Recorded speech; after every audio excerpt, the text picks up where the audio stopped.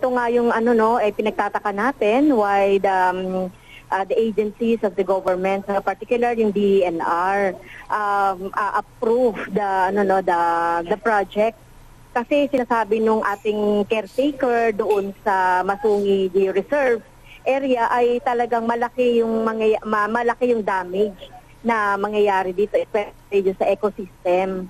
So dapat ano, ano to muna no ah, kaya nga sinabi natin i-revoke ang mga permit so that um, um, ma-review muna no kung talagang magsusunod ah, halimbawa itong company na ito doon sa mga environmental concerns Mm-mm. at saka ecosystem Mm-mm. ah, balance no dito sa Masungi kasi kapag nasimulan na ito papasukin na ito ng lahat ng mga ano no ng mga businessmen. Kasi sinasabi nga nung ating mga caretaker dito talagang malaki yung magiging damage nito.